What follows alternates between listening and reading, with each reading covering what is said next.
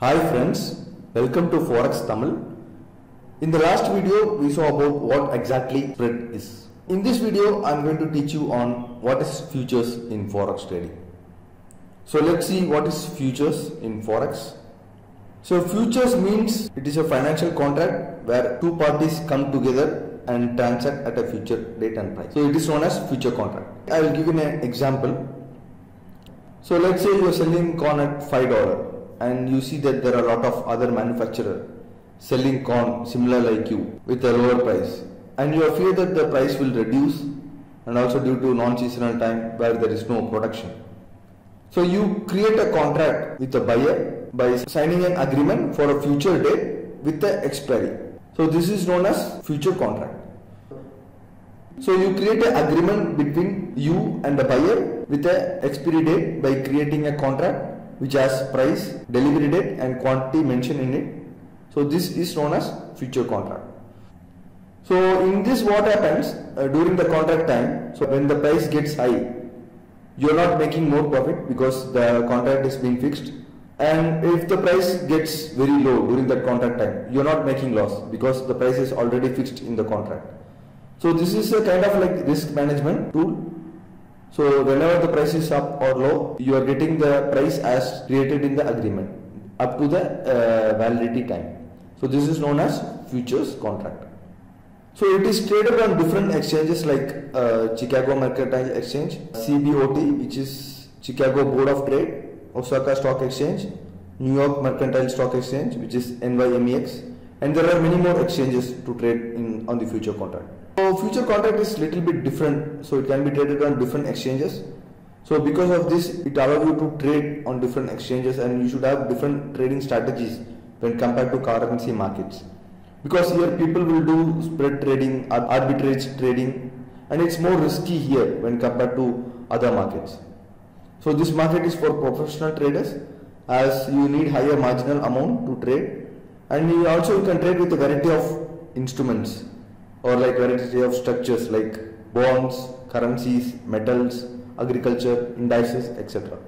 So bonds are like uh, we have 10 year treasury bond, 30, year treasury bond and currencies are like we have euro currency pair, AUD, Australian dollar, uh, New Zealand dollar, Canadian dollar and etc.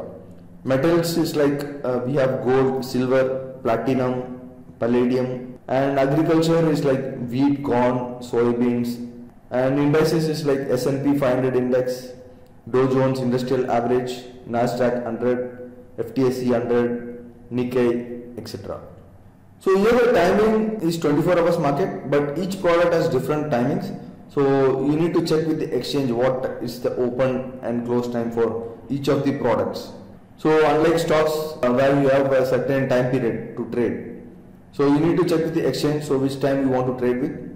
So now let us see the most important part in the uh, future contract which is contract specification. So this is the agreement between the buyer and the seller. So let's see what are the parameters that is being mentioned on the contract size. So first thing is the trading hours. So trading hours is like uh, the market is 24 hours per day but each product has its unique trading hours. So you need to check with the exchange which product you want to trade with. Next thing is tick size.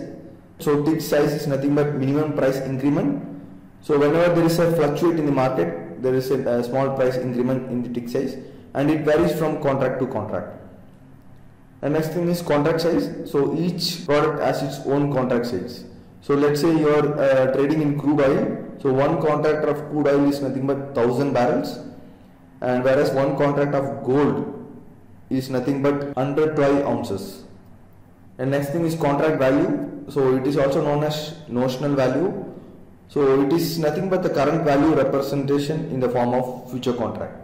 So to calculate the contract value, the formula is contract size into current price. So if you multiply the contract size into current price, you get the contract value. And next thing is delivery. So delivery date can be either physically or financially settled. So physically means it expires directly into cash like E-mini S&P 500 index future. Physically settled means it expires directly into physical commodity like crude oil So the good thing about futures is the exposure. So you get to trade with a variety of products and instruments in the market. So thank you friends for watching this video. In the next video, I'll be teaching you on what is leverage in forex trading and how it impacts on your trading. So do like and subscribe to our channel. If you have any queries, comment on the comment section below. We'll see you on the next video. Thank you.